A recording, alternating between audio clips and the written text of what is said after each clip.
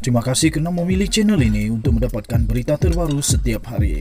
Bagi anda yang pertama kali berada dalam channel ini, sila pertimbangkan untuk tekan butang like, subscribe dan komen video ini untuk penambahbaikan pada video akan datang.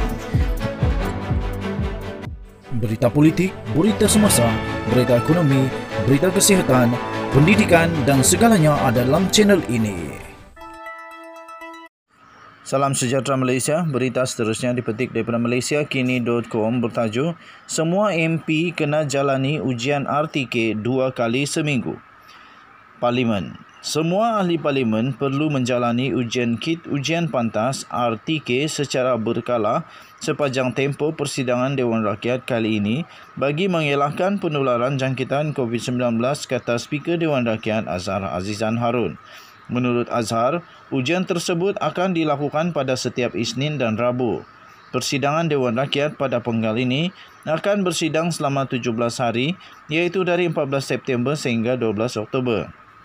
Katanya, perkara itu telah dipersetujui ketika mesyuarat jawatan kuasa Dewan semalam yang telah dihadiri oleh Menteri di Jabatan Perdana Menteri Undang-Undang Wan Junaidi Tuan Kut Jafar, Saidan Kasim Arau, Dr. Hatta Ramli Lumut dan Elis Lau Lanang. Ahli-ahli yang terhormat yang berhormat berstatus perintah pemantauan di rumah SSO disebabkan kontak rapat dibenarkan pilihan untuk sesi undian dengan memakai PPE. Perkara ini pernah dilakukan pada 14 dan 15 Disember lalu dan mengesyorkan agar sistem penggiliran dalam Dewan Rakyat dilakukan setiap satu jam sebagai langkah berjaga-jaga dalam mengekang penularan COVID-19. Sehubungan itu di atas meja, ahli-ahli yang berhormat diletakkan surat keperluan menjalani ujian RTK saliva secara berkala sepanjang tempoh persidangan mesyuarat pertama itu, katanya. Ujian pertama tersebut akan mula diadakan pada esok yang memerlukan tempoh 20 minit.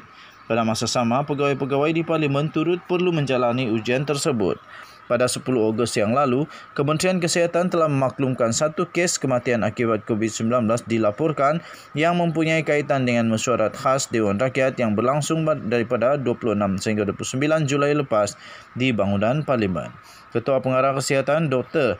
Nur Hisham Abdullah berkata kes itu melibatkan seorang pegawai tinggi kerajaan yang mempunyai sejarah hadir ke parlimen dari 26 sehingga 29 Julai dengan ujian saringan pra Dewan Rakyat pada 23 Julai dan ujian saringan melalui RT Liur RTK AG pada 29 Julai adalah negatif. Sekian berita, salam sejahtera berita. Kita jumpa lagi. Selamat pagi Malaysia. Bye-bye.